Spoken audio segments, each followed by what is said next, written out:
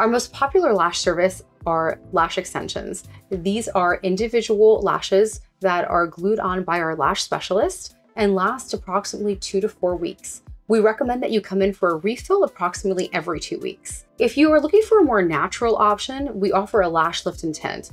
If you could imagine, like if you were to go to sleep in lash curlers and wake up in the morning with your natural lashes that are uplifted and naturally curled upwards, that's what our lash lift and tint is. The results of the lash lift and tint last approximately six weeks.